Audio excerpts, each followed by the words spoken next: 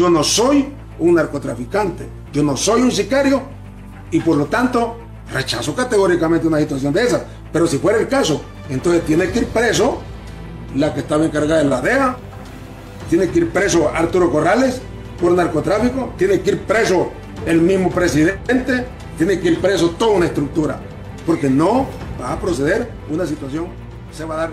Juan Carlos el Tigre Bonilla se caracterizó por ser un hombre de carácter fuerte y duro, nunca fácil de torcer y con una apariencia física que imponía respeto y a la vez miedo, mientras estuvo a cargo de la dirección de la Secretaría de Seguridad en Honduras. Fue extraditado y entregado a los agentes de la DEA y será en la Corte de Nueva York donde demostrará de cuántas rayas está hecho para defender su libertad en Honduras. Se cumplieron todos los plazos para su proceso de extradición, así lo enfatizó su defensa, Ramón Matamoros. Eh, el general siempre ha negado todos esos cargos, que ha participado para, dentro de su posición, pues, de general de la Policía Nacional de Honduras, ejercer actos, pues, de involucrarse, pues, en actos de narcotráfico. Es un proceso normal. Recuerde que hoy se cumplen casi 60 días desde el momento de su captura y prácticamente se ha cumplido con todos los términos y plazos en el cual nosotros nos hacemos presentes aquí para hacer eh, velar pues esa entrega a la autoridad de los estados extranjeros de Estados Unidos. Alrededor de tres horas duró el proceso de entrega por parte de las autoridades de seguridad de Honduras. Al menos 200 elementos de la Policía Nacional y Militar resguardaron la seguridad del ex jerarca policial hacia la base aérea Hernán Acosta Mejía, donde le esperaba la avioneta para posteriormente ser transportado hasta Nueva York. Dicho procedimiento es un claro mensaje para todo hondureño que actúe fuera de la ley, indica el director de la Policía Nacional, Gustavo Sánchez. Para la Policía Nacional de Honduras, esta es la finalización eh, con un éxito total del tercer operativo en el marco de la Operación Liberación. Ya fue entregado oficialmente el exdirector general de la Policía Nacional, general Juan Carlos Bonilla Valladares. Ya él va en camino hacia Nueva York hacerle frente a los cargos que se le imputan eh, en esa corte por los delitos que ustedes ya conocen. Por, la, de parte de la Policía Nacional, este operativo oficialmente ha concluido. Esto es un mensaje para los funcionarios y funcionarias policiales, para todos los funcionarios del Estado, porque esto no es exclusivo de algunos exmiembros de la Policía Nacional. El narcotráfico es una modalidad del crimen muy compleja y no es un hecho aislado. Recordemos que hace unos días entregamos al primer eh, ciudadano de la República hasta el 27 de enero.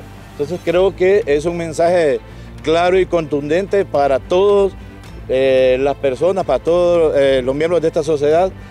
Según fiscales, Bonilla habría abusado de su cargo para violar la ley y supervisar el envío de múltiples toneladas de cocaína hacia los Estados Unidos usando ametralladoras y otras armas para conseguirlo y participando en violencia extrema. La fiscalía citó en la imputación del ex jefe de la policía hondureña las pruebas presentadas en el juicio celebrado el pasado octubre del 2019 en Nueva York contra Tony Hernández y las declaraciones hechas ante el tribunal en las que se alegó que varias organizaciones de narcotráfico tuvieron apoyo de políticos y agentes del orden en Honduras entre el año 2003 y 2020. Ante la situación, el experto en derecho Elvin Carrillo manifestó que si el Tigre se declara culpable, podría colaborar con la Fiscalía del Distrito Sur en Nueva York.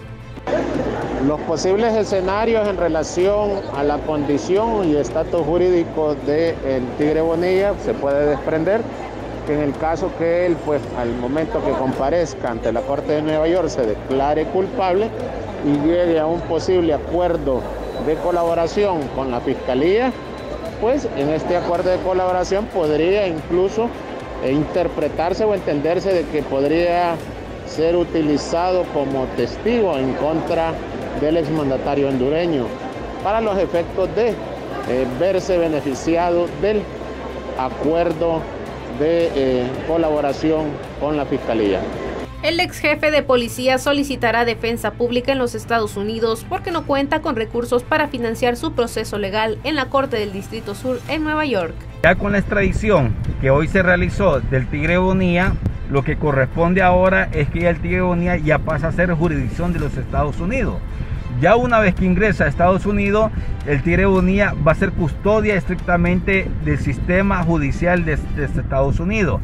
Lo que corresponde que ya mañana a 24 horas a partir de la fecha en que él fue, en que fue ingresado, él ya tendría una audiencia. O sea, mañana él va a tener su primera audiencia, que es la audiencia de, de formalización de cargos. Juan Carlos El Tigre Bonilla se desempeñó como director de la Policía Nacional de 2012 a 2013 en el gobierno de Porfirio Lobo Sosa, pero luego fue destituido previo a la entrada del nuevo gobierno de Juan Orlando Hernández. Su sucesor fue Ramón Savillón, actual ministro de Seguridad en Honduras, quien se venía desempeñando como inspector general de la Policía Nacional. En el año 2016 fue depurado de la institución y en 2010 fue acusado por primera vez por Estados Unidos. Juan Carlos Bonilla Valladares nació el 1 de abril de 1961 en la villa de San Antonio, Comayagua. A los 13 años abandonó su hogar para ingresar al batallón. Para finales de los 90 estuvo asignado como oficial de planta en la unidad de homicidios de la policía. Fue jefe policial en San Pedro Sula. Posteriormente fue asignado en La Lima y Villanueva. Después fue jefe departamental en Santa Bárbara y luego lo asignaron a la jefatura departamental de Copán. En mayo de 2012 fue nombrado como director de la Policía Nacional y destituyó a Ricardo Ramírez del CID. En 2013 fue enviado a Colombia como agregado policial de la Embajada de Honduras en ese país. En ese mismo año también fue separado de la institución junto a otros ex jerarcas policiales, tras las acciones de la entonces Comisión Depuradora. El 10 de mayo de 2022 será recordado por su extradición y entrega mediante una caravana de 20 vehículos, entre ellos camionetas blindadas, dos helicópteros con francotiradores y al menos 150 efectivos policiales acompañaron al ex jefe policial en su último recorrido por Honduras. El Tigre fue solicitado en calidad de extraditable por el gobierno de los Estados Unidos en el año 2021, luego de ser acusado de narcotráfico y delitos relacionados al uso de armas de fuego. En cámara y edición, Franklin Amaya, para Centro de Noticias GOTV, les informó Mariela Flores.